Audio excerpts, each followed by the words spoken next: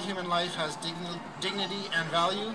in all its stages and all its conditions from the moment of conception until the moment of natural death.